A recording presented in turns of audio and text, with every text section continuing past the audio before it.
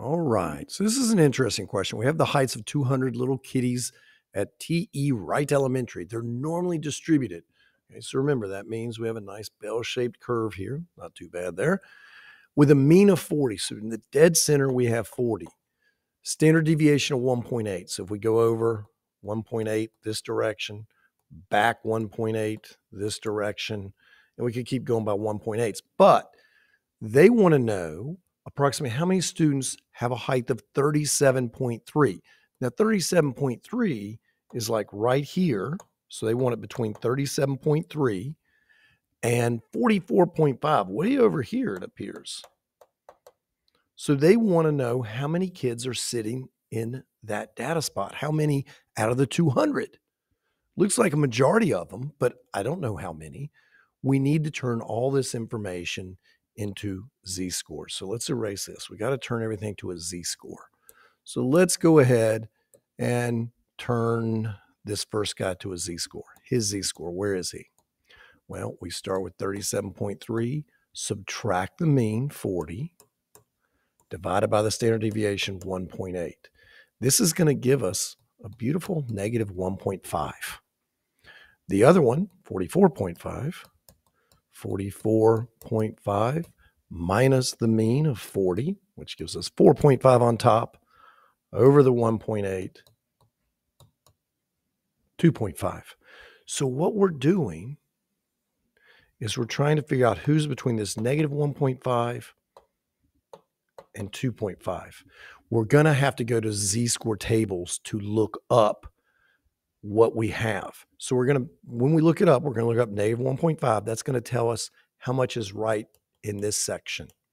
When we look up 2.5, it's going to tell us to the left of that section. Then we're going to have to subtract those is what we're going to have to do. But we'll look at that in a second.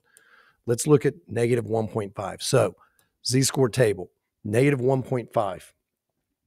It's a negative perfect negative 1.5, which is this value right here that you see, 0.06681. 0.0 so we have 0.06681. So basically 6.681% of people are to the left of that curve that we don't want. We don't care about that 6%. now let's look up 2.5. How many are to the left of that 2.5, which is what the z score table will tell us. So we want 2.5. Scroll to 2.5. Wow.